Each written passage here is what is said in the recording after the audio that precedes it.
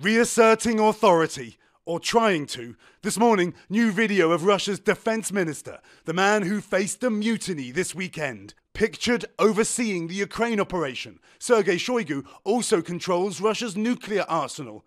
The video is mute and doesn't say when it was filmed. Other images have not been widely broadcast here.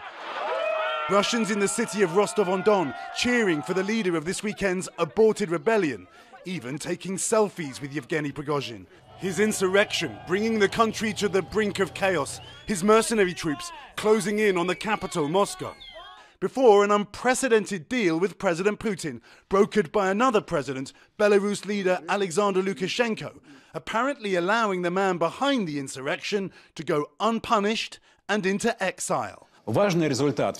Overnight, Russian TV commentators declaring a senseless massacre was avoided with maturity. Beijing saying this morning it supports Russia maintaining national stability, while the US and Ukraine sensing weakness at the heart of the Kremlin. I think we've seen more cracks emerge in the, the Russian facade. It is too soon to tell exactly where they go. Some commentators in Russia are calling for the mutiny leaders to be punished, even executed, pointing to President Putin's reputation for not easily forgiving betrayal.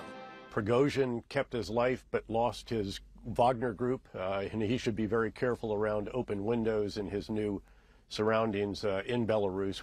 All that's left behind in Rostov on Don, occupied by the rebel group for less than a day, tank tracks and questions. How can one, in a situation where we are in conflict with another country, have an internal war as well, this man says?